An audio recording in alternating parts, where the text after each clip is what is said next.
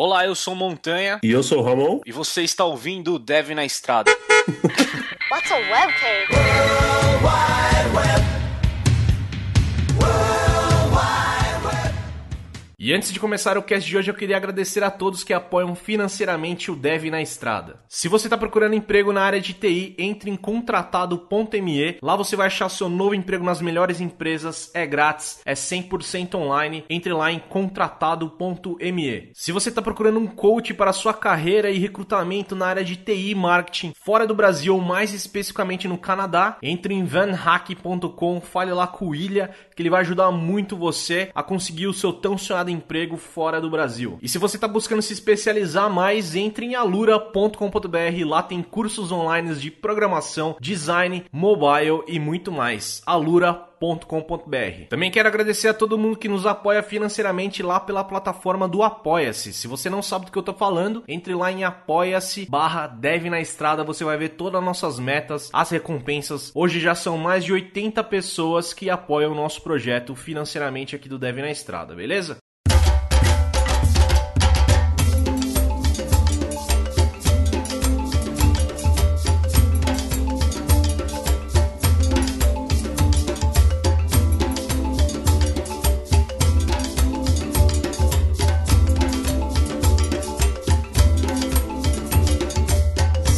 Bem-vindos a mais um Dev na Estrada. Eu sou Montanha e tô aqui com o Ramon. Fala aí, galera. E o nosso convidado de hoje, William Molinari, o Pot Hicks. E aí, galera? Bom, antes de mais nada, Pot Hicks, muito obrigado por ter aceitado o nosso convite aqui de gravar no Dev na Estrada. E para quem não te conhece, se apresente aí pra galera, cara. Bem, é, eu sou o William Molinari, né? Mas ninguém me conhece assim. Eu sempre comento nas palestras, né? A galera parece que meu apelido é William Molinari. Então a galera me conhece como Potix, eu sou de São Paulo, sou um dos organizadores do Guru SP desde 2008. Tô trabalhando na local web já há algum tempo e curto pra caramba essa área de desenvolvimento de software. Boa, cara. Você viu que eu já falei errado o nick dele, né? O Potrix. O cara mandou um Potix. Pode, pode falar qualquer um dos dois aí, não tem muita diferença, não. Mas beleza. Cara, então, pra gente começar, vamos voltar lá no tempo e conta pra gente como é que você começou a gostar de computador, mexer com essas coisas. Pode voltar bastante no tempo lá. Vixe, cara, acho que começou lá na, na oitava série, quando eu comecei a descobrir o computador. Nem, nem tinha computador na época. Aí comecei aquelas, aquelas, ler aquelas velhas revistinhas de hacker, vocês leram também, é, que vinha com os nomes tudo trocados dos caras. Depois que eu fui descobrir que a foto era um e o nome era outro. Mas foi bem naquela época, assim, tava lendo bastante essas revistinhas, não tinha computador. Aí comecei a trabalhar, só, só só quando eu comecei a trabalhar que eu comprei meu primeiro computador. Aí depois disso aí ficava fazendo aqueles comandinho do Windows que exclui o autoexec.bat, exclui o config.sys e ficava levando para os cursos de informática da vida. O cara já começou deep já, mano. começou deep. Era um bagulho meio, meio tosco, mas foi, foi assim que começou lá. Aí eu com, peguei meu primeiro livro de C, uma Bienal do Livro, um livro simplão. É, comecei a programar daí. É, apesar de estar usando Windows, ainda curtia pra caramba Linux na época. É, mas naquela, né? Curtia, mas não instalava, né? Que não funcionava nada. Só, só que quem tinha hard mode conseguia usar as paradas. É, mas aí foi, foi nessa daí, comecei a trabalhar na época, trabalhei com, como auxiliar de comércio exterior, um negócio meio nada a ver, assim. É, mas isso me deu o primeiro contato com Linux, eu ficava é, indo com o pessoal da, do setor de informática na época, né? sei lá se ainda é esse nome lá. É, comecei a ficar, participar bastante da. conversar com os caras e tal, acabei conhecendo o meu o, conhecendo um evento de Linux na época, foi o Slacker, Slacker Show. Nossa, nem sei qual, quando que foi isso daí. Deve ter sido lá para 2004, 2005. É, aí, nessa época, comecei a instalar meu primeiro Linux, comecei a fazer uns testes. Na época, Curumim, saudoso Curumim. Tudo isso no trabalho Saudades. você tá falando, né? Não, isso em, casa. Em trabalho em mesmo casa. era só... É, era só o Windão e foi mexendo com instrução de embarque, essas coisas que não tinha nada a ver com o desenvolvimento de software e pra gente, programação. E pra gente ter uma noção do, da timeline aí, você tá com Onde você estava morando e com qual idade mais ou menos você estava? É, isso aí eu, eu, sempre morei em Diadema, São Paulo. É, e eu tinha mais ou menos nessa época. Acho que eu tinha 16 anos, nessa época eu estava com 16 anos. Boa. É, aí, beleza, comecei a testar, fazer uns testezinhos com Linux, acabei saindo dessa empresa, não, não tinha nada a ver comigo, né, nem fazia sentido continuar lá. Foi só um primeiro primeira emprego assim para conhecer a empresa no geral. É, aí daí eu comecei a fazer curso técnico na, na ET, na ET extensão né, São Bernardo extensão de Diadema, na verdade era uma, uma gambiarra, mas rolava uma ET em Diadema, comecei a fazer curso técnico em informática lá. Aí comecei a ter um pouco mais de, de contato com com desenvolvimento de software na época era só coisa de curso, né? Aprendendo C, aprendendo PHP. Mas nessa época eu, eu consegui meio que um estágio, não sei se é bem um estágio, chama, chama CAE, né? Tipo, você entrava com. Quando você estava estudando, você podia entrar por esse CAE em alguma empresa. É, um estágio mesmo. É um estágio, né? É, aí entrei ganhando, sei lá, 350 reais por mês aí no, no, numa, numa empresinha pequenininha, familiar. Aí, mas empresa familiar lá no Jabaquara, que fazia brinde personalizado, assim. Aí eu era o único programador da empresa, programador barra garoto da informática. É, ficava consertando o computador e fazendo um sisteminha deles em ASP, ASP clássico, ASP2. Oh. Ai, nossa, cara.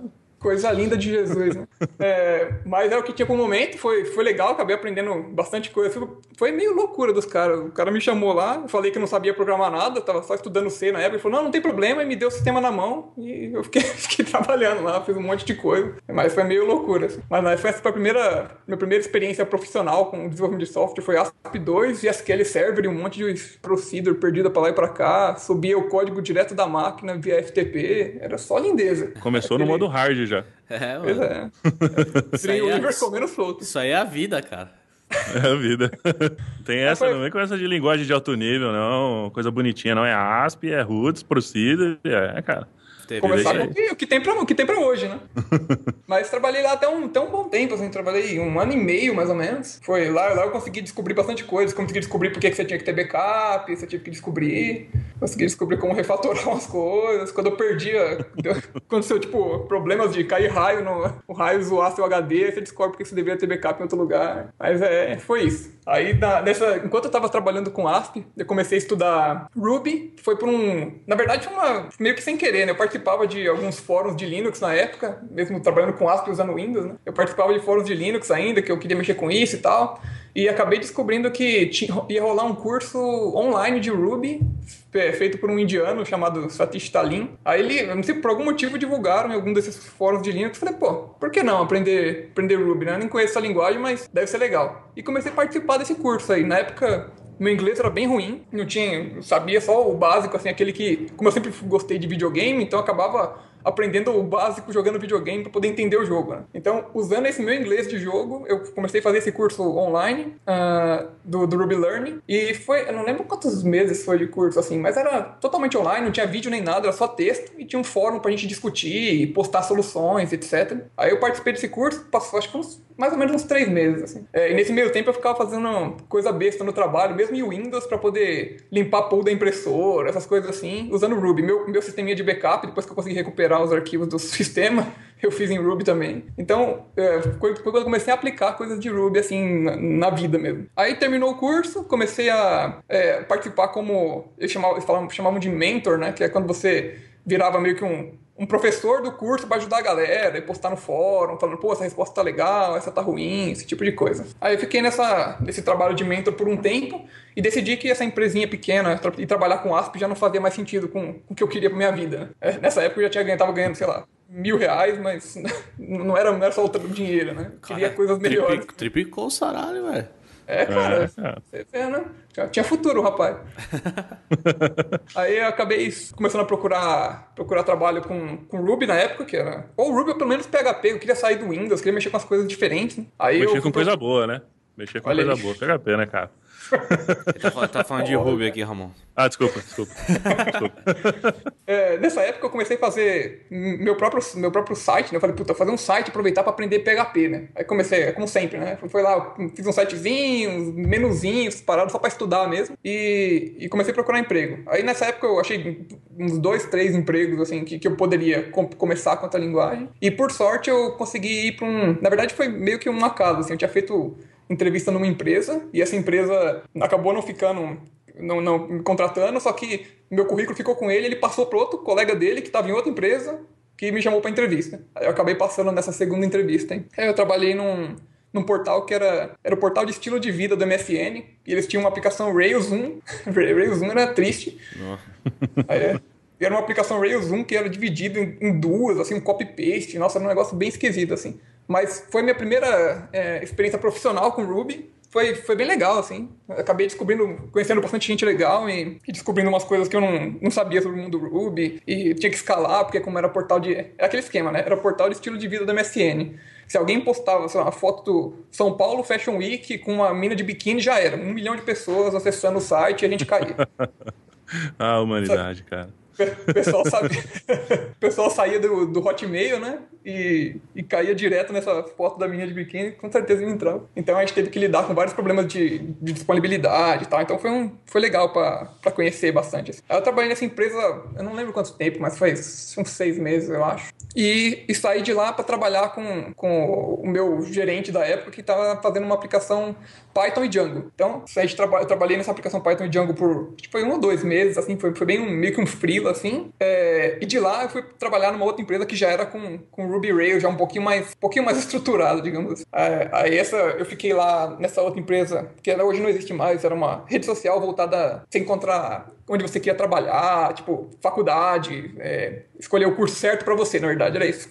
Você tinha que você participava de lá para poder escolher o curso certo para que você quer fazer. Por exemplo, é, sei lá, eu, eu devo estudar ciência da computação ou sistema de informação. Aí você assistia alguns vídeos, aí tinha um pessoal conversando e tal, era mais ou menos essa ideia. Aí era uma aplicação Rails 2 lá, é, e aí trabalhei lá por um ano e meio, e de lá eu fui, fui trabalhar na, na Local Web, que é onde eu tô até hoje, tem seis anos já. É, e tem uma coisa que eu não comentei, que nesse meio tempo aí, desde é, dessa que eu estava trabalhando com Ruby, eu, tava, eu ajudei a fundar o Guru SP, né? A gente, a gente fundou o Guru SP em 2008, saiu meio que da, da, lista Rails BR lá, uma conversa de, pô, a gente podia juntar um pessoal aqui em São Paulo para fazer encontro presencial e, e discutir Ruby e tal.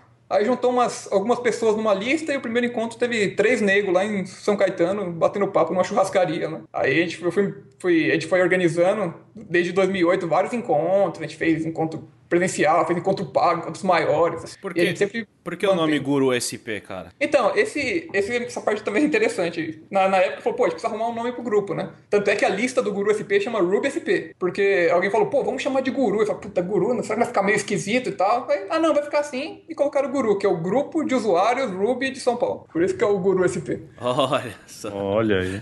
É, coisa do o HLB, o Hugo Lima Borges, que, que inventou esse nome aí e ficou desde 2008. A gente veio bem organizando desde lá, tem, foi uma, uma experiência bem legal para mim, porque eu sempre achei que palestrar era um negócio legal, né? Então eu vinha tentando melhorar esse, esse negócio de palestras desde lá e o Guru SP me, me colocou no rumo, assim, né? Porque eu, como eu tinha que organizar, às vezes não tinha palestra suficiente, eu me colocava para fazer palestra, para meio que cumprir, cumprir tabela. cumprir a tabela ali, fala. É, aí eu acabei aprendendo bastante coisa, perdendo bastante da timidez, que eu tinha meio timidez de falar em público, assim. É, mas, mas ah, é, a, a, gente, a gente deu risada e brincou, mas é isso que tem que acontecer, né, cara? Com todo mundo que queira palestrar, tem essa vontade, você não vai chegar lá na sua primeira palestra e vai fazer o melhor, né, a melhor palestra do mundo, assim, né? Você tem que... E, e não vai, sei lá, tem gente que pode mandar aí suas talks, suas, é, suas talks para eventos maiores tal, e às vezes não é aceito, fica puto, fica chateado.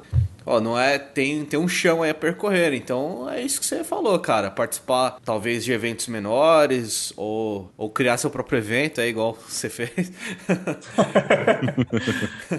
se, Nossa, cara, se colocar, isso vai melhorando sua skill conforme o tempo, né? Quem tem interesse, eu acho que quem gosta disso é um puta, é um puta canal, cara, para você se desenvolver e conhecer outras, outras pessoas que é o essencial na nossa área, né? Sim, eu, eu lembro até é. hoje da minha primeira palestra lá, cara. Foi meio, meio sem querer, assim. O cara falou, você pode fazer a palestra de abertura do evento aí. Eu falei, ah, não, cara, meio, tá meio em cima da hora. Ele falou, não, faz aí, faz aí. Vai ser rapidinho, uns 15 minutinhos só de abertura. Aí ele falou assim: ah, vai ter lá umas 30 pessoas. Aí tinha tipo 150 pessoas no dia. Foi meio complicado, assim, mas saiu. Aí depois de sair, já fica mais tranquilo. É, cara, você não vai chegar. Ah, quero palestrar. Você não vai chegar palestrando na, sei lá, cara, na ZenDCon em São Francisco, né? Do nada. É. Não, não é assim que acontece, né? Tem que ir aos poucos. Esses grupos de usuários são, na minha opinião, são os melhores lugares para começar, assim, porque é um ambiente mais não é um ambiente muito hostil, né? Geralmente é ou é seus amigos ali, ou tem pouca gente, e às vezes o pessoal que está começando costuma ir, então às vezes o que você tem para falar ajuda pra caramba quem tá lá e tal. E, eu já, sou bem a favor. E já que você tocou nesse assunto, para quem, pra quem tem interesse de palestrar e e, e, e, tem essa vontade também. Conta pra gente o que, que mudou, assim, depois que você começou a palestrar e começou a se comunicar melhor. O que, que, que, que isso agregou para você na sua carreira? Putz, cara, agregou bastante. Uma das coisas que eu mais gosto de palestrar é, é poder pesquisar antes para fazer a palestra, né? Porque, querendo ou não, você tira, você tira horas e horas da sua vida para pensar num assunto, colocar seu, a sua colocar a cabeça para funcionar e estruturar um negócio que faça sentido para quem tá te ouvindo, né? Porque para você ali naquela hora tudo faz sentido, né? Mas você passar isso para alguém é, é, uma coisa bem diferente. Então você senta lá, olha, estrutura tudo o seu, o seu conhecimento, o conhecimento que você já tem, você chega com uma coisa mais concreta para poder mostrar. Aí eu sempre comento com a galera que você chegar lá na, na frente e falar é só, é uma, é só, sei lá, 30% do trabalho que teve de fazer uma palestra. É mais só, só a parte de, de comunicar mesmo, mas a parte mais legal tá antes em pesquisar, entender o que tá rolando, para você poder estruturar e entregar o, o, conteúdo. Isso fora networking, né? Puta, melhorou, sei lá quanto, mas melhorou muito, assim. O pessoal começa a te conhecer e te considerar para determinadas coisas, assim. Até para trabalho mesmo. Se você já palestrou em algum lugar, fala, pô, já vi a palestra sua e tal, você acaba sendo considerado mais para ou vaga de emprego, ou freelance, essas coisas. É, isso é muito louco, né, cara? Você acaba se tornando meio que, é, não um expert, né, mas meio que uma referência naquele, naquele assunto que você está abordando, né? Então, se o cara já viu sua palestra, evidentemente, a hora que ele te ver de novo, ele vai lembrar. Pô, você é o cara que estava lá falando de tal coisa naquele dia no evento tal. Então, é, isso, isso é muito da hora, né, cara? É, eu tinha um, é, eu tinha um chefe que dizia sempre que quem não é visto não é lembrado. Então, é bem importante você se envolver. Faz bastante sentido. É. é isso, isso, é uma coisa interessante, porque quando eu saí da, do meu do, do, trabalho que eu falei, que eu trabalhei um ano e meio antes de ir para o Local Web, é, o, Fábio Kung, que trabalhava na equipe de cloud, que entrou em contato comigo. Né? Nem, nem tava procurando nenhum trabalho. Assim. Tava lá, ele me chamou no, no Digital, Digital, que eu nunca tinha falado com ele. Falou: E aí, Pote, beleza? Quer, quer fazer entrevista aqui na Local Web? Falei, pô, por que não? Né? Eu sempre gostei de infraestrutura e desenvolvimento e trabalhar com essa, com essa parada de cloud, que era um pouco mais baixo nível do que o web que eu estava acostumado. Foi muito legal, eu estava com uma equipe muito boa lá, tava, o Nando Vieira estava lá, o Tino Gomes, Fábio Kung, Rafael Rosa, tinha várias pessoas que eu conhecia de nome da comunidade, assim. E isso aconteceu meio do nada, não, sem, sem eu procurar, simplesmente porque a galera me conheceu de algum lugar, provavelmente de eventos ou Guru FP, e me chamou para trabalhar lá. E conta como é que foi um pouco sua experiência lá no Mocoeb. Ah, foi bem legal, cara. Eu falei que eu tô há seis anos lá, nesses seis anos eu passei por várias equipes, né? Essa é a parte boa de, de empresa grande, né? Os caras falam, pô, como você consegue ficar tanto tempo numa empresa assim, né? Porque querendo ou não, é bastante tempo, seis anos, né? Eu tinha ficado no máximo é, um ano e meio. Eu ia, eu ia comentar isso pra você no final, depois você falar a diferença que foi, né? Porque você falou um ano e meio, dois anos em algumas empresas e agora seis anos, né? Sim, sim. Eu, eu, eu nunca achei que fosse ficar tanto tempo numa empresa porque eu tinha uma mentalidade que você acaba estagnando quando você fica muito tempo numa empresa só, né? Só que eu pensava em empresas pequenas. Eu tinha trabalhado em, em do, três ou quatro startups, assim, ou empresinhas familiares, e eu não tinha, não tinha essa visão ainda. Quando eu fui trabalhar no Local Web, eu descobri que, como desenvolvedor, eu tinha, sei lá, só dentro da Local Web tem áreas de desenvolvimento, deve ter, sei lá, umas oito, nove subdivisões, assim, e cada um tem produtos completamente diferentes. Aí eu entrei no time de cloud, né, pra começar a fazer uma, uma linha do tempo. Eu entrei no time de cloud em 2010. É, na época, o Cloud Server Pro, que é um dos produtos da Local Web lá, não tinha nem sido lançado, a gente tava fazendo beta interno de cloud e tal. Aí eu comecei a trabalhar nessa aplicação, a gente desenvolveu um monte de, de coisa legal com Ruby, mexi com Python na época, a gente fez extensão para Zen Server porque precisava fazer, porque não, tinha uma coisa que não, não, funcionava bem pra gente e tal. Então a gente fez bastante coisa diferente, fiquei lá três anos e meio, a equipe mudou bastante durante esses três anos e meio, até virou equipe de cloud, virou uma equipe de infraestrutura como serviço, aí veio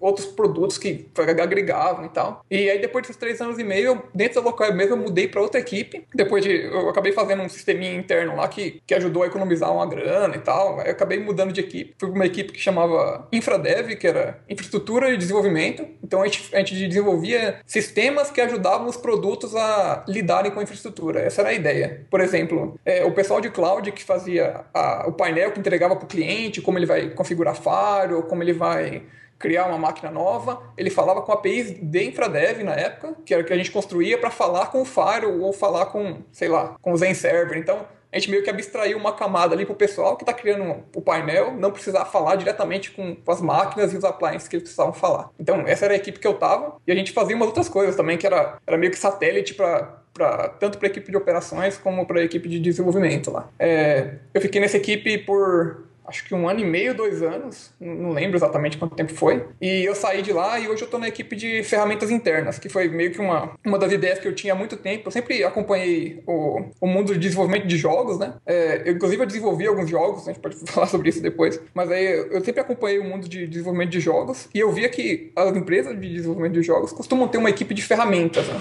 Só que não é só as, é, as, empresas de desenvolvimento de jogos, né? Tanto é que a Netflix tem uma equipe de ferramentas e outras, e outras empresas da, do mundo web também. Aí eu tinha sugerido pro pessoal que a gente podia criar uma equipe e acabou rolando. Então hoje eu estou na equipe de ferramentas lá e a nossa meta é melhorar a produtividade de todo mundo lá. Então, de todo mundo, assim, dos desenvolvedores. Né? Ajudar eles a entregarem código melhor, a criar libs e etc. Então, cara, falar um pouco sobre o que você falou que você acompanhou a comunidade de games. Acho bem interessante esse assunto, porque eu já... Eu não vou falar que eu acompanho, acompanho também, mas eu já pensei em várias vezes fazer uns games e tal, e eu sempre fiquei no pensei, sabe? Fiquei sempre na parte do pensei. Mas acho bem legal, cara. Acho, acho massa também. Eu, hoje eu tô fazendo umas coisas pra para iOS com React Native e tal e eu, e eu penso em utilizar em estudar um pouco a parte de games para utilizar nisso também. Mas conta aí como que você como que você acompanhou essa comunidade de games e os games que você acabou fazendo? Então eu sempre eu sempre curti jogos desde, desde criança assim né? Quando eu era criança minha mãe falava para mim que eu eu podia jogar só três horas por dia. Mais que isso, eu não, não poderia. eu tomava de mim o videogame depois desse, desse tempo. Porque senão era o dia todo. É, senão estraga aí... a TV. Estraga e a TV. você começou com o quê? videogame? É. Eu, nossa, acho que foi com Atari, muito tempo atrás. Faz aí drogas. pulou pra. aí pulou pra Super NES, pulou pra PlayStation, Game Boy, Dreamcast, um monte aí. Ó, o cara é do PlayStation, velho. É, é, e... Mas o Dreamcast foi de paixão, assim, joguei bastante. Bizarramente. E nova né? geração aqui, desistiu ou joga no computador agora? Então, eu, eu, a nova geração eu parei um pouco. Depois que eu descobri a programação, eu parei um pouco com os jogos. Estranho, né? acho que eu viciei em outra coisa. É. é, mas aí, então, essa foi a parte interessante, né? Porque como eu parei de jogar, e. Beleza, parei. Até porque eu instalei Linux, né? Você sabe como é que é. Você só vai jogar Tux Racer só, daí pra frente. Ai, cara, eu senti sua dor agora. High five. É. Bem, beleza. Aí eu, eu, eu instalei Linux, comecei a programar e acabei largando um pouco os games. Em, em, algum momento da minha vida, eu descobri, eu falei, pô, eu gostava muito de jogos e eu virei programador e os programadores programam jogos, né? Aí deu aquele estalo, falei, nossa, que legal, posso programar jogos. Aí eu comecei a pesquisar um pouco mais. Como eu era, sempre fui da área de web, assim, gost, sempre gostei bastante de web, eu falei, pô, o que eu consigo fazer na web? Aí eu vi aqueles caras fazendo JavaScript pra mover div pra lá e pra cá, essas coisas assim, né? Aí eu falei, pô, talvez dê pra fazer alguma coisa nessa, nessa pegada aí. E comecei a pesquisar um pouco mais. Aí eu acabei caindo em Canvas e Canvas 2D, essas coisas assim. É, aí em 2000, acho que 2011, eu acabei, é, como eu tava pesquisando essas coisas, participei de um Game Jam. Pra quem não conhece Game Jam, é tipo um hackathon, você tem 48 horas para fazer uma, alguma coisinha. Então eu participei do Game Jam do Itaú Cultural, eu e o Bruno Crossi. Esse a gente não, não fez com nada web, a gente fez com C++. É, aí fez um joguinho 48 horas com C++ que só, só, rodava, tipo, sei lá, 20 minutos que estourava sua memória, porque não tinha nenhum instrutor. Era coisa linda o código. Então open source eu deixei só por, por histórico, né? Oh, eu, eu, uma pausa aqui, cara. Eu sinto inveja dessas coisas, mano. eu sinto uma inveja do caralho, mano. O cara fala assim... Ah, eu fui. Eu não sabia nada de jogo. Eu trabalhava com web. Aí eu falei assim: ah, tô querendo estudar um jogo. O que, que eu vou fazer? Vou num hackathon, que é um bagulho que você, na minha visão, você tem um puta cagaço de ir quando você não sabe nada tal. Assim, vou num hackathon e aí vou colocar meus conhecimentos de web ali. Não, vou fazer em C, por que não? Como não? Caralho, como poder... mano. É, foi, foi eu o Bruno Cross já tinha mais, é, mais experiência que eu, então ele foi me puxando. Essa parte legal, né? Quando você trabalha com alguém mais experiente, ele acaba te dando bastante conhecimento. É, mas a, o resultado disso daí, de não saber tanto, é que você olha o código do jogo lá. Tá, tá coisa linda de, de Deus, cara. Você, você olha e chora na hora, assim. mas, mas rolou. É, a gente acabou ficando em segundo ainda nesse, nesse hackathon. Tinha umas, acho que umas oito, nove equipes, assim. A gente fez um negócio tosqueira que o joguinho funcionava bem, mas fora, fora o leak de memória, mas funcionava bem. Só que os, os gráficos foi eu que desenhei, então era lindo, né? Os gráficos, vocês devem imaginar. Ah, programador com gráfico, é isso aí Ficou fantástico. Cara, desenhando. Qual que é o Photoshop do, do Linux lá? Eu desenhei no GIMP. Ah lá. No GIMP, olha lá. No GIMP, GIMP no Inkscape, cara. Foi. Olha, olha aí, aí cara, olha aí. Usando todas as minhas técnicas. Boa. Aí, aí a gente, bem legal, ficamos em segundo ainda, saiu no site do Itaú Cultural, lá, se procurar ainda acha. Saiu até na ESPN o um videozinho do pessoal lá que tava participando e tal. Mas foi, foi, bem, foi bem uma experiência bem divertida, assim. Na época eu ainda tava de plantão, tipo, levar o celular da empresa, essas coisas. É, foi ótimo. Mas a gente participou, fez as 48 horas lá e foi minha primeira experiência com Game Jams, assim. Aí depois disso daí, eu falei, pô, foi legal esse Game Jam, só que o próximo eu quero focar um pouco mais em web. Então comecei a estudar um pouco mais sobre é, engines que a gente pudesse usar com JavaScript, Canvas, HTML5, né, que HTML5 é uma gama de coisas. É, e aí eu descobri uma, uma engine que chamava Akihabara, era uma, uma, cidade japonesa, né? É, e o cara tava começando a desenvolver agora, tinha feito vários joguinhos no estilo 2D. E, e, a gente resolveu participar de outro Game Jam. Dessa vez eram quatro pessoas. O, eu, o Bruno Cross, que participou comigo do outro, Rafael Mazzoni e o Altair Gonçalves. Esses quatro caras. A gente foi para esse. que é parte do Global Game Jam, né? Você escolhe um. O pessoal marca uma data, te dá um tema na hora, assim, e você desenvolve em cima desse tema. Aí a gente fez em 48 horas, a gente fez um joguinho bem simplesinho, que era tipo um, meio que um tower defense meio zoado, assim. Mas foi, foi outra experiência legal, foi a experiência de catar o JavaScript HTML5 e colocar a mão na massa por 48 horas lá, dormir pouco e colocar código para funcionar. E foi bem legal, no fim das contas, tinha um joguinho que funcionava em celular, funcionava é, na web, e também foi, outro, foi outra grande conquista. Só que dessa vez a gente tinha um designer, o Rafael Mazzoni, que fez os desenhos, então pelo menos ficou bonito o negócio, não ficou um monte de caixinha preto e branco para lá. Pra lá e pra cá.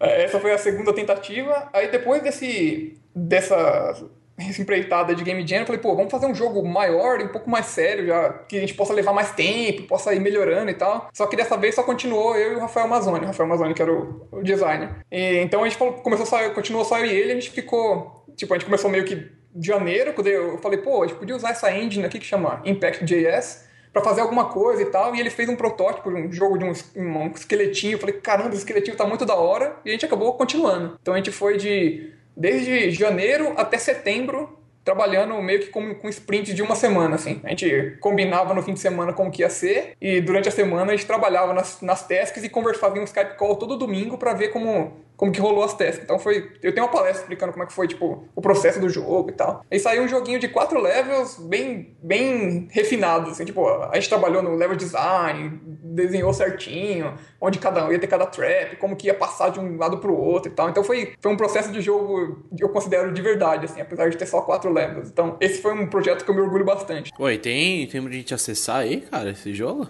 Tem, depois se vocês quiserem colocar o link no show notes da vida, mas é. tá no GitHub, tá no. É como é HTML5, só exportei e deixei no GitHub page só. Como que é o nome do jogo? Chama Skeleton Jigsaw. É bem, bem ruimzinho de pronunciar, mas se entrar Skeleton... em Jigsaw. Se você entrar em plaeve.github.io barra Skel com K, vai, você vai, vai cair direto na página do jogo já. Bom, a gente vai deixar o link aí na descrição. E também o, o framework que você falou é o Impact.js, é isso? Isso, é esse mesmo. Ele é pago. A gente pegou na época uma promoção de Natal que deu uma ajuda, porque ele é bem carinho. Tá 99 dólares, pelo menos da última vez que eu vi. Isso. Mas aí ele tava fazendo uma promoção, a gente comprou em quatro pessoas, um monte de coisa, e acabou saindo um valor em conta, assim, que valeu a pena ter comprado. Massa. Mas é, dos que eu mexi foi o melhor, assim. Tem level editor, tem um monte de coisa legal assim, pra brincar. Massa. Para jogos 2D é da hora. Você chegou a dar uma olhada em outros frameworks? Porque tem.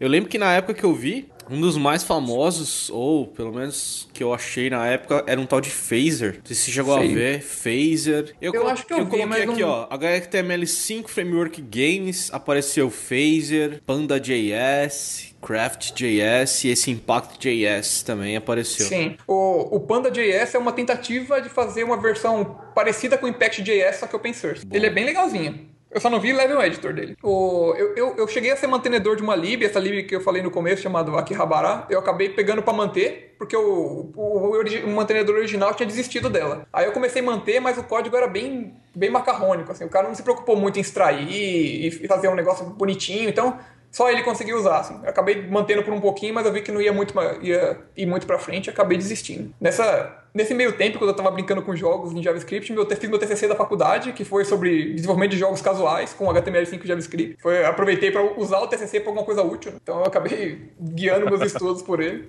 Boa. É, tinha que usar pra alguma coisa.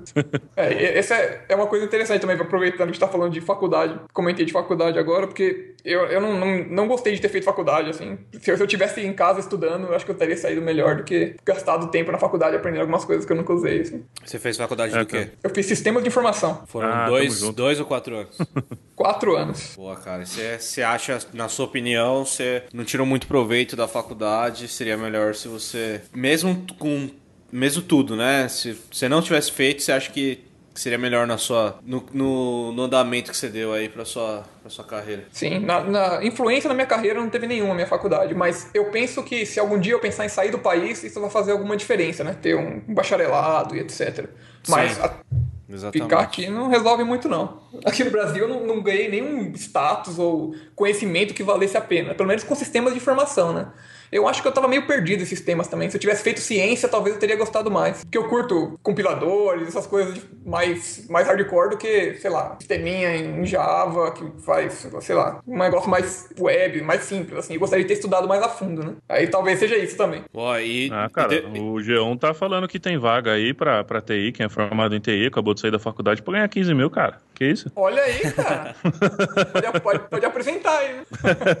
Onde é que estão, né? Onde é que estão? Me fala. oh, uma outra. Pode falar, pode falar. Não, e o legal que você comentou que você decidiu estudar, né? Falar assim, pô, posso fazer jogo tal. E eu achei legal que você, para você se forçar a estudar, para você estudar, você resolveu criar projetos, né? Você falou sempre, pô, vou criar um projeto. E aí fazia, terminava e beleza. Ou, ou nesse meio tempo você foi estudando algumas coisas por conta. Como é que foi isso daí? E, e, depois desse último jogo que você falou, você fez mais coisas? Estuda ainda ou não? Deixou isso meio de lado? É, eu acredito bastante em peer pressure, né? Quando você fala que vai fazer uma coisa que fica 200 pessoas em cima de você, você acaba fazendo. Então isso, isso acaba, pelo menos para mim, ajuda bastante. Então, vira e mexe, eu começo a fazer um projeto e falo pro pessoal, tô fazendo um projeto, que aí o pessoal fica te perguntando, né? Aí você acaba se motivando a fazer. Isso para mim funciona. E quanto ao, aos jogos no geral, assim, eu fiz esse último jogo, ele foi bem desgastante de fazer. Foi nove meses de trabalho, tipo, meio que como se fosse um trabalho full time, né? Eu ia pro, pro, pro meu trabalho oficial, trabalhava no local web já na época, e de manhã eu tirava, ou de manhã ou à noite, duas horas por dia, assim, para ficar trabalhando no jogo, né?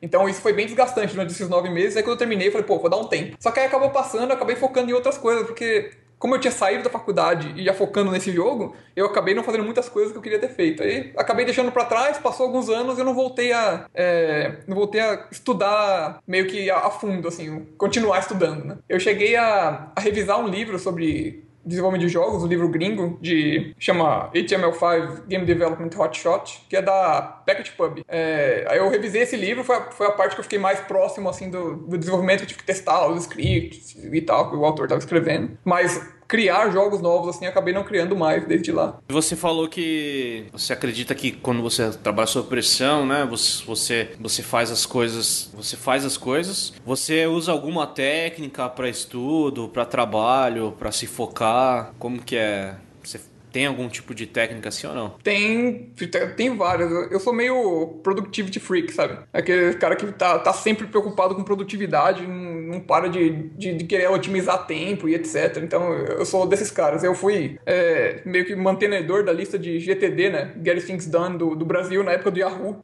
do Yahoo Groups, que nem, nem hoje em dia a galera nem usa mais, mas na época eu participava bastante e eu usei muitas, durante o meu começo da minha carreira, muitas técnicas desse GTD, né? Do, do David Allen. Que a ideia dele é você tirar tudo da mente e colocar num, num sistema que você confie, né? Por sistema, entenda papel, sei lá, código, o que você achar que você vai revisar diariamente para saber quais são as suas tarefas e quais horários você deve fazer as coisas, etc. Então, eu usei muitos conceitos disso durante a minha, minha carreira inteira. É, hoje eu tenho, eu tenho memória muito ruim, sempre tive, não lembro o nome de ninguém, não lembro muita coisa. É, mas aí esse tipo de coisa me ajuda a manter minhas, meu foco. Então todo dia eu chego, olho, tenho uma lista de tarefas, eu sei o que eu escrevi. Todo dia antes de sair eu escrevo todas as coisas que eu estava fazendo, porque no outro dia eu já não vou lembrar. Então eu tenho uma memória bem volátil, mas eu aprendi a me organizar bem para poder manter o, o fluxo de tarefas e etc. E eu tento, eu sempre tento usar o máximo do meu, do meu tempo. Então, o meu, meu dia a dia, eu, eu tô fazendo, tô com dois trabalhos hoje, resolvi pegar um, um freelancer porque eu queria trabalhar mais com web, porque no local web eu trabalho bastante com infraestrutura e DevOps, essas coisas, então tô mantendo dois trabalhos e nos tempos livres ainda acabou ouvindo muito audiobook. Eu acabei ouvindo 32 livros esse ano só por, por causa de audiobook. Se, se fosse depender Caraca, de ler mesmo. Mano. 32. Parabéns, hein, mano. É, cara, ah, audiobook eu recomendo pra todo mundo. Foi, foi um negócio que eu, eu, ouvi o Rafael Rosa no ano passado e falando: Ô, oh, eu li 90 e tantos livros esse ano. Eu falei: não é possível, cara. Como consegue ler tanto livro? Aí eu conversei com ele e falou: cara, audiobook. Audiobook é o que, é o que liga. Aí eu resolvi dar um, fazer um teste, né? Eu, eu tinha, sei lá, dezenas de podcasts que eu ouvia sempre. Eu resolvi tirar um pouco dos podcasts que eu ouvia e ouvi um pouco de audiobook, então mantive alguns e comecei a intercalar com audiobook. E, cara, é, mudou a vida foda, assim. Porque hoje, sei lá, tô almoçando, eu tô ouvindo audiobook, eu tô indo pro trabalho, eu tô ouvindo audiobook. Sempre que eu tenho um tempo que eu tô fazendo tarefa mecânica, eu vou ou com audiobook ou com podcast. Então, sei lá, passear com o cachorro, audiobook. Então, vira e mexe, você acaba lendo bastante. Quem fala que não tem tempo de ler, né? Essa é, você consegue usar o tempo que você está fazendo coisas mecânicas para receber de volta esse tempo em algum conhecimento, de alguma forma. Muito bom, cara. E você a gente acabou até. O, o, David, né? Um abraço pro David aí, recomendou o, Pot, o Potix pra falar conosco. Ele falou que. Ele falou dessa sua particularidade aí, cara, que é de escutar podcasts, um milhão de podcasts. O, o Potix falou que já escutava a gente, não, não sei se foi só pra agradar a gente ou já escutava antes. Mas tem essa sua particularidade aí de escutar um milhão de podcasts. Você gosta bastante da plataforma, né? E Sim. você tem um, um superpoder, né? Fiquei sabendo. Qual que é isso aí? Tem um superpoder, você escuta, você coloca assim, tem lá podcast, escolhe o episódio, daí tem velocidade 1, 2, 3 e creu. Você põe no creu lá. É, cara, isso aí foi treinando aos poucos a velocidade do creu, hein? Mas é, eu, tipo, eu sempre comecei ouvindo com, até com todo mundo, né? Você começa ouvindo com, na velocidade normal, né, das coisas. Alguém até tinha me falado, não, ouve mais rápido e tal. Eu falei, não, esse negócio aí é maluquice, ficar ouvindo mais rápido e tal. Aí eu comecei a ver que eu tinha mais podcast do que tempo pra ouvir, né? Falei, porra, tô, tô, tô, consumindo todo o meu tempo ouvir os podcasts. Falei, ah, vamos tentar acelerar um pouquinho, né? Aí começou, foi acelerando em 1, 2, 2, 5, 1, 2, 1, 5, 1, 8. Aí hoje tem podcast que dá pra ouvir em 3, 0, tranquilo, assim os podcasts da, da CBN, pra quem ouve, dá pra ouvir em 3.0 como se estivesse ouvindo a 1.0. Os caras são muito lentos pra falar. Caraca. é. Aí eu acabo, acabei fazendo isso com o audiobook também. Aí os audiobooks em inglês, fui aumentando também. Aí não consigo, tem, alguns eu consigo ouvir em 2, alguns eu tenho que baixar um pouco, ouvir em 1.5. Mas aí depende muito da, do treino e de como você se sente bem ou não ouvindo o conteúdo, né? Tem coisas que para mim é tranquilo. Por exemplo, CBN, que eu quero ouvir, sei lá, notícia. Notícia da economia, sei lá o quê. Aí você vai lá, coloca um monte lá que você vai conseguir entender e pegar a mensagem, né? É tipo quando o pessoal fica discutindo de livro em papel e livro em áudio. O importante para mim é o conteúdo. Não importa se é papel, se é áudio, se é escrito na parede, holograma, não, não importa. Desde que eu consiga pegar o conteúdo. Então, se em 200, 200 velocidade você conseguir consumir o conteúdo de uma forma ok, eu acho que é bem, é bem melhor do que você consumir mais devagar, né? Você consegue colocar mais coisas na sua agenda do que você conseguiria ouvindo em tempo normal. E dá um pouquinho do caminho das pedras, cara, para quem ficou interessado, como eu, de escutar audiobook, dá um pouquinho do caminho das pedras, assim. Que que como é que você faz? Se escuta no celular? Se usa algum tipo de aplicativo específico? Você compra audiobook? Pega gratuito? Qual que você acha que é o melhor, o melhor cenário? Dá um, dá um pouquinho do caminho das pedras pra gente. Boa, eu, eu até escrevi um post sobre isso no meu blog lá. Eu vou, eu vou comentar aqui, depois se vocês quiserem ver com mais detalhes, vocês entram lá no potix.com e acho que tem um dos últimos posts lá. é exatamente porque o pessoal tá me fazendo essa pergunta recorrente, assim. O que eu faço hoje é ouvir o Audible. Para quem tem o um inglês ok, assim, que consegue entender pelo menos 1.0, eu recomendo é, assinar o Audible, apesar de ser caro, eles cobram 15 dólares pra gente aqui do Brasil, o dólar tá caro, acaba saindo muito caro, mas é o melhor serviço de audiobook que tem atualmente. É, então eles são o melhor serviço que tem. Aí quando você não ou não, não tem inglês ou não quer pagar tanto, tem alguns no Brasil, tem o Toca Livros, tem o e-book, se eu não me engano. É, eles o, o, problema deles é que eles não têm os títulos que você procura, né? Eles têm alguns outros títulos e tal, mais, mais underground ou mais antigos, assim. Mas você quer procurar uma coisa mais, sei lá, mais power, sei lá, poder do hábito, você não consegue, não consegue achar por lá. É, aí, fora isso, tem as formas é, não tradicionais a biblioteca do Paulo Coelho, que dá pra. o, o, que eu costumo fazer, que é, isso é pra me sentir bem moralmente, né? Porque às vezes eu, eu costumo baixar livro, só que se eu baixo o livro, eu compro o livro físico do cara. Então, o que eu faço é comprar o livro físico, deixar na minha estante ou doar para alguém e baixar o audiobook de, se, eu, se eu achar, né? Que eu me sinto, tipo, feliz de ter é, contribuído pro trabalho do cara que gastou, sei lá, centenas de horas para escrever, né? é, então, tem, tem alguns... É, tem uma fundação que chama Fundação Dorina No Will, que é, é uma fundação para cegos, que eles disponibilizam audiobooks gratuitamente para quem tem deficiência visual. Então, essa é uma lei. Existe uma lei que eles têm que disponibilizar gratuitamente. É, só que eles não podem disponibilizar para todo mundo, porque tem copyright, essas coisas. O cara tem que se cadastrar se ele tiver realmente deficiência visual. Aí, o que acontece é que as pessoas que pegam lá, às vezes, colocam disponíveis na internet, né? Então, acaba você achando por meios não tradicionais. Mas aí, aí, é só se lembrar que se você consumir um conteúdo desse passa para alguém, paga o, o, autor de alguma forma que, que ele merece o trabalho que ele, que ele colocou no livro.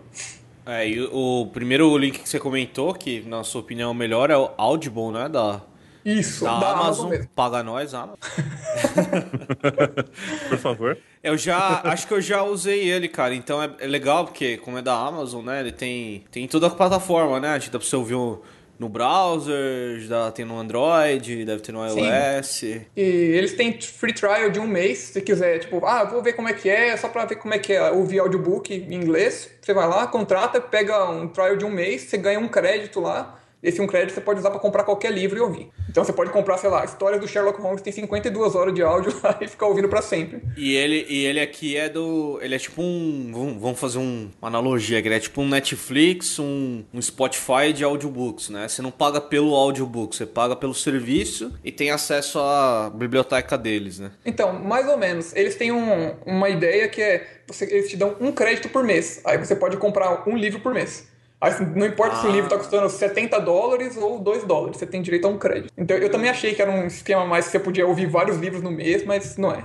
Você ganha um crédito só. Mas é bem ok, tá? Eu achei que fosse, nossa, senti uma falta, mas é, Dá, dá, dá pra sobreviver com um crédito por mês. Tem outros planos, mas os outros planos são muito caros, né? acho que não compensa. Saquei. Pô, é diferente então. É, é uma ideia diferente. É que você não vai escutar um milhão de livros por dia, né? E por mês, sei lá, mas é Sim, diferente. O máximo que eu consegui foi ouvir um livro num dia só, mas mais que isso acho que é bem complicado. E, e foi porque o livro era pequeno. E você costuma ouvir livros de qualquer assunto ou você sempre acaba aprendendo para um livro mais, sei lá, talvez mais técnico, mais científico? É, eu tenho ouvido bastante non-fiction, que é, tipo, sei lá, o poder do hábito é um non-fiction. Ele te explica por que, que o hábito é importante, essas coisas Nossa, assim. Cara, então... Tô com esse aberto aqui. Você tá vendo minha tela?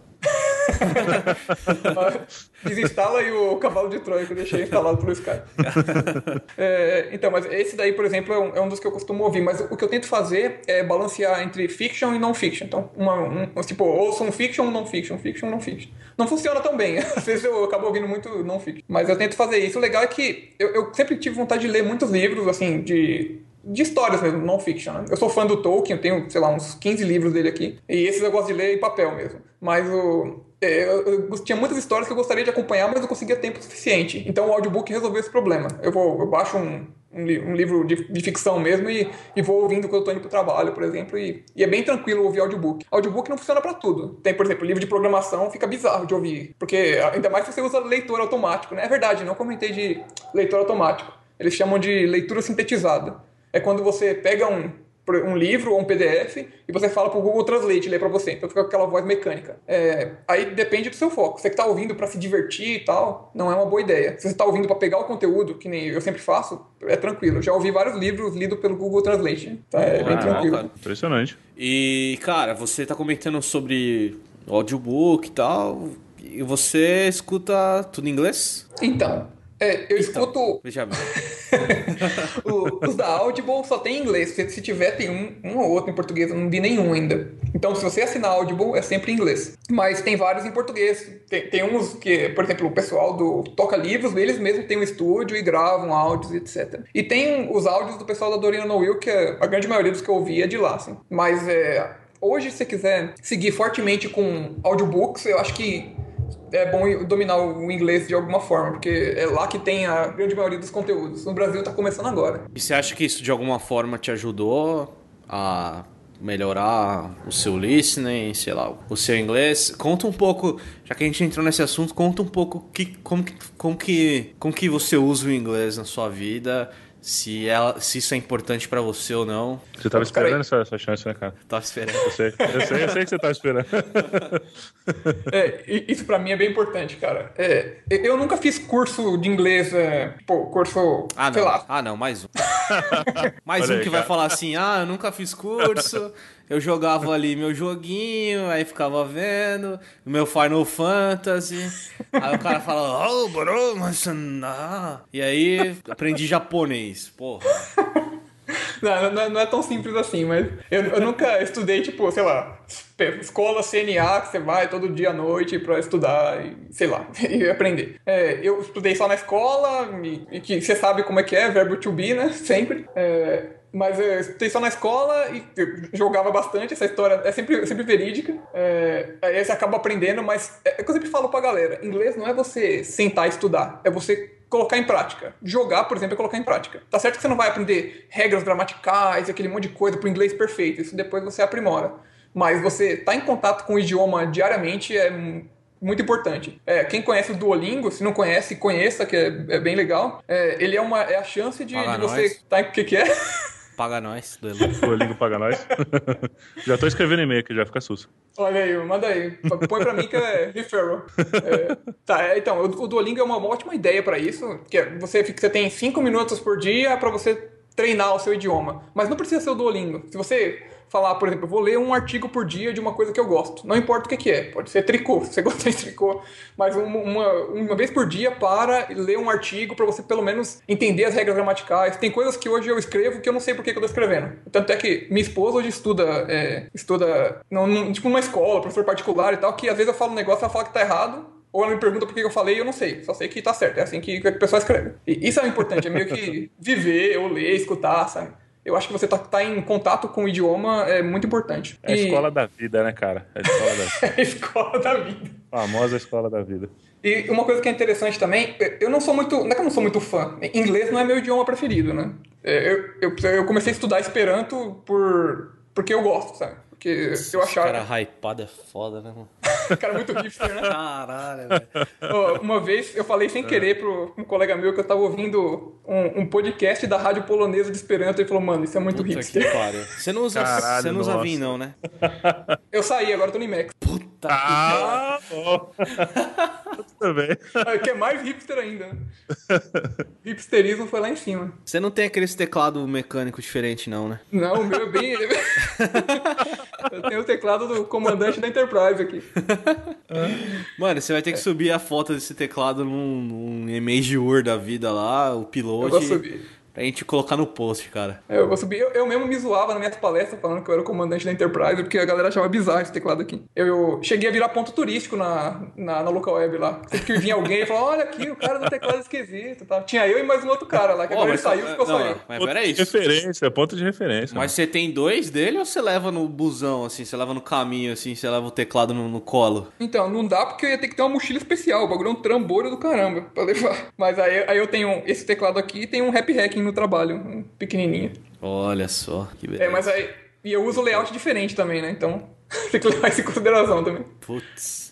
Eu uso um layout chamado Colemak, se quem quiser pesquisar aí depois. É, isso é uma coisa que vale. O que, que é? O cara curte jogar no modo hard mesmo. tá, a vida tá fácil, né? Mas assim, ah, não, tá muito fácil isso aqui, velho. Vamos dar layout aqui. Vamos dar uma zoada, vamos dar uma zoada. Vamos dar uma zoada. Trocar layout de teclado é uma coisa que eu não sei se eu recomendo pra todo mundo, assim, que é um negócio muito difícil, cara. Acho que foi uma das coisas mais complicadas, assim, que, que eu fiz, chegar de. ao ponto de chegar com dor de cabeça em casa. Assim. Ele é daqueles caras assim, manja, que começa a falar assim: ah, quero aprender um novo instrumento. Você vai aprender bateria. Aí o cara começa a tocar bateria, pá. Aí uma semana o cara tá tocando lá, sei lá, Slipknot já. Ah. aí o cara fala assim: tá fácil. Aí, aí, aí ele se inspira nesses, nesses malucos que aparecem na internet aí e fala assim. Vou tocar a bateria com o pé agora. Como se tocar a bateria com o pé. Daqui a pouco ele fala, tá fácil. Vou tocar bateria, sei lá, com, um copo descartável. o cara começa a inventar, eu, mano. Eu tenho dessas de ser learner, de aprender um monte de coisa diferente, sabe? Eu, por exemplo, eu sei tocar um monte de instrumento, só que não sei tocar nenhum bem, sabe? Eu sou tipo generalista dos instrumentos. Eu sei, eu já, na, eu fiz curso de bateria, tipo, uns três meses só de curso, e depois eu comprei bateria eletrônica e tal, aprendi a tocar bateria. Aprendi a tocar violão, aprendi a tocar guitarra, aprendi a tocar ocarina e tem uma flauta transversal hoje, mas. Mais baixo sei... ninguém quer aprender, né? eu não tinha, se eu, tiver um, eu vou aprender também. Mas eu curto aprender. baixo, né? Tô brincando. É. Oh. tem que aumentar o volume ah. pra tocar. Peraí, deixa eu ver se consigo quicar alguém.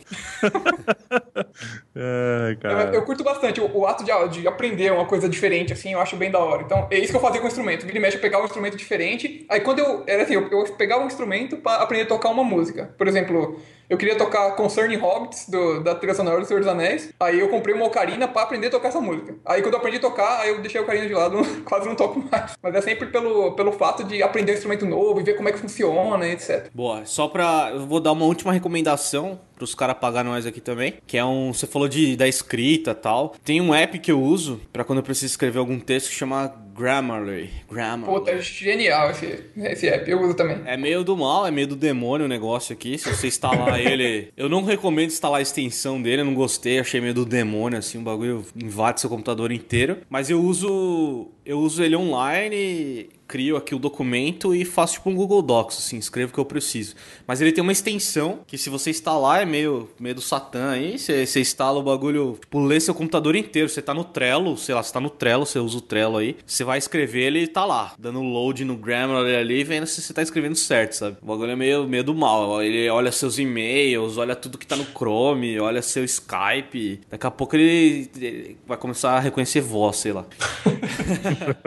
Mas é bem legal, assim assim, ele é pago também, tem uma versão grátis que ele vai te dando é, correções bestas e correções mais avançadas você tem que pagar.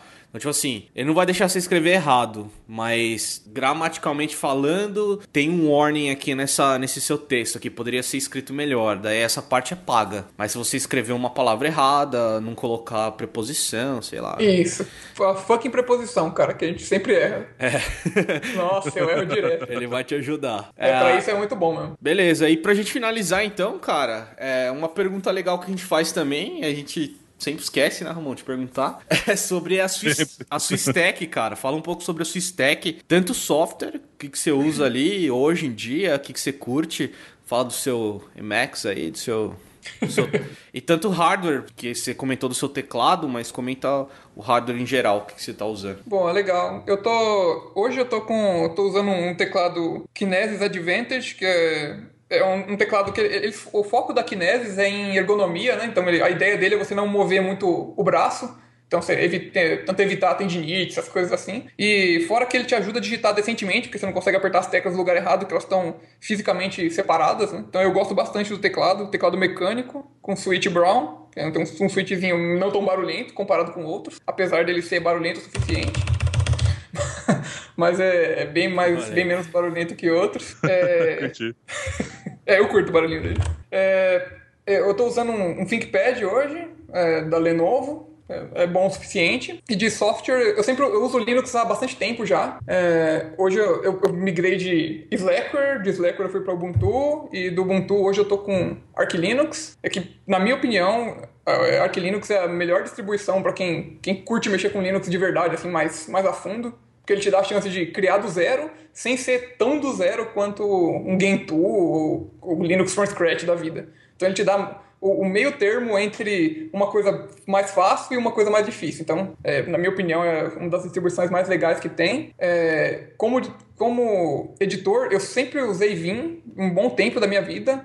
Eu, eu, participei da, da, escrita do Vimbook BR, eu escrevi um, um capítulozinho pequenininho lá. É, aí, depois de usar tanto tempo Vim, eu mudei de de layout de teclado, aí ficou bizarro, porque o HJKL já não tá no lugar onde deveria estar, tá, né? Então, pra, pra navegar no Vim fica tudo esquisito. É, aí eu falei, pô, acho que é uma boa hora para mudar de editor, né? Vamos tentar tentar outro editor. Aí eu passei pro Emacs agora, e o Emacs já tá me dando bastante trabalho, assim, porque pra quem tava acostumado com o Vim, pra você reacostumar com outro editor, então eu fico nessa de Vim e Emacs, trocando aí. É, Deixa eu ver. Eu, em linguagem de programação, eu, eu gosto muito de Ruby, sou, tô no GuruSP há tanto tempo, não, não é à toa. É, mas eu não, não sou fixo em Ruby, eu acho que a gente tem que usar a ferramenta certa para o problema certo. Então eu, eu tento aprender um pouquinho de cada ferramenta, assim. Hoje eu tenho usado bastante Ruby, Python, dependendo quando eu vou fazer script, Go, quando eu preciso de um binário, é, um bináriozinho pequeno para distribuir entre máquinas, e estou estudando Elixir agora, que parece ser uma linguagem bem legal. Estou é, gostando até. Então, acho que basicamente é isso aí. Boa, cara. Então, Boa. queria agradecer de novo você por ter aceitado participar aqui do nosso, do nosso cast, cara. Muito obrigado mesmo, foi bem legal o nosso papo. E Cara, fica aberto aí se quer falar alguma coisa, quer falar do seu blog, quer falar de algum evento, ficar Quero. um espaço final aí para suas considerações. Legal, da hora. É, a, o que eu tô mais comentando ultimamente, que é uma coisa que eu tô muito orgulhoso de ter feito, é que eu escrevi um livro pela Casa do Código. O livro chama Desconstruindo a Web. É, quem quiser depois acessar no https desconstruindoaweb.com.br. A ideia desse livro foi, é, foi é, mostrar para tipo, quando você tá saindo, quando você tá na faculdade, você aprende muita coisa perdida, né? Tipo, você aprende um pouco de rede, você aprende um pouco de, sei lá, de, de sistemas e tal, só que você nunca vê essas coisas se integrando, né? Então, o, o que esse livro livro faz, eu usei tipo a minha experiência de carreira para poder mostrar é, desde quando você está lá digitando no navegador uma URL, como que a sua requisição sai do navegador, o que, que o navegador faz, como que ele resolve o DNS, como que o sistema operacional faz para passar por criar pacote TCP, para mandar para sua placa de rede, passar pelo driver, sair para o seu roteador, passar pela internet, chegar lá no servidor, como que ele chega no servidor web, servidor de aplicação, para depois ele passar por tipo framework, por exemplo, Ruby on Rails, então ele vai passar onde vai ver onde que o Ruby on Rails trata a sua requisição, como que ele manda para sua aplicação, como que sua aplicação vai tratar. Então eu fiz todo um estudo de como que o request vai e volta. Quando ele volta, ele carrega na, na, na interface, como que o navegador cria cada uma das coisas, as divs, cria CSS, a, aplica as coisas. Então eu peguei, construí uma aplicação e fiz todo esse estudo, desde de quando você clica até o navegador carregar completamente a página desse, dessa aplicação que eu fiz. Então, o livro tá, tá vendo lá na Casa do Código. Eu fiz umas palestras sobre ele, quem quiser também é, ter uma ideia, porque tem uma palestra, um resumão, assim, bem, bem grosso modo do que o livro é. Porque, na verdade, eu comecei, esse é, é importante, até legal comentar, eu comecei o livro com essa palestra, na verdade. Eu, eu falei que eu ia fazer uma palestra, depois que eu dei pesquisar tudo para a palestra, eu descobri que tinha muito mais assunto do que caberia na palestra e eu resolvi escrever o livro. Então é meio que a palestra é uma é um começo do livro assim. Então quem quiser ver, só procurar Potix Construindo a Web que você vai achar. Tá no YouTube mesmo se bobear. É, é isso, eu tenho meu blog no potix.com e vale mencionar do, do Guru SP também, quem é de São Paulo, ou se não é, quiser participar da lista de discussão Ruby SP, você vai achar. Mas se você é de São Paulo, participa lá do Guru SP, que a gente está sempre trocando ideia. E a gente não conversa só sobre Ruby. Apesar de, do nome ser Grupo de Usuários Ruby de São Paulo, vira e mexe surge outras tecnologias ou assuntos relacionados. Por exemplo, produtividade já surgiu lá. A gente já falou sobre games lá, já falou sobre JavaScript, já falou sobre um monte de coisa que é relacionado com a comunidade Ruby ou web no geral, assim. Então, sinta-se à vontade de participar lá. A gente não cobra nada, é só um evento de desenvolvedores para desenvolvedores, porque a gente gosta disso. E acho que é isso aí. Fechou, cara. Muito obrigado, então. Valeu e até a próxima aí. Falou, até a próxima, galera. Valeu, gente.